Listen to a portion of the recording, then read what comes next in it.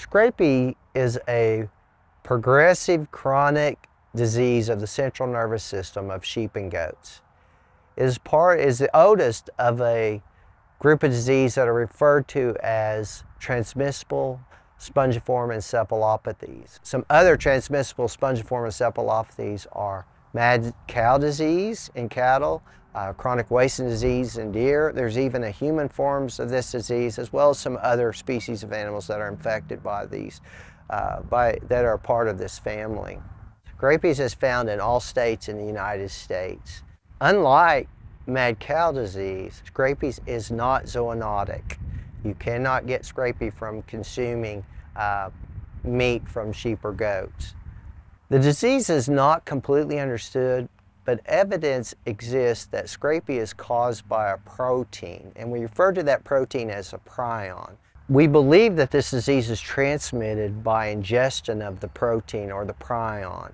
Uh, most likely young lambs and kids are exposed to this uh, prion from infected animals.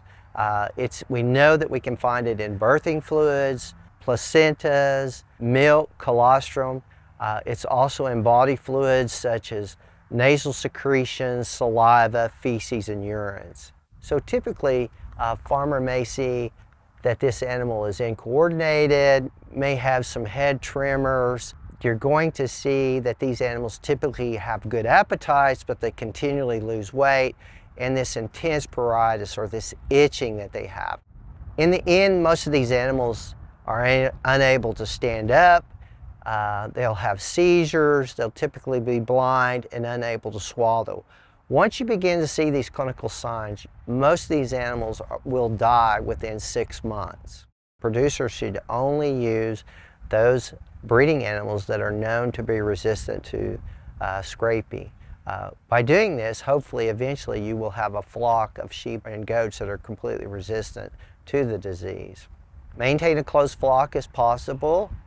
Make sure that we are keeping things clean, especially the birthing areas, dispose of placentas in a timely fashion.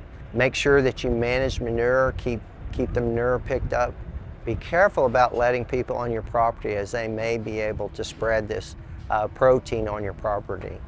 If you have an adult sheep or goat that dies or has to be euthanized, please get that animal tested for scrapies. Now, the USDA uh, veterinary services will do this, will collect these samples and test it for no charge to you. If you have one of these animals, please contact our state veterinarian, Dr. Rod Hall, at 405 522 6141 or contact veterinary services at 405 254 1797. For more information, if you will just go to the SunUp website, we'll post some of this information for you.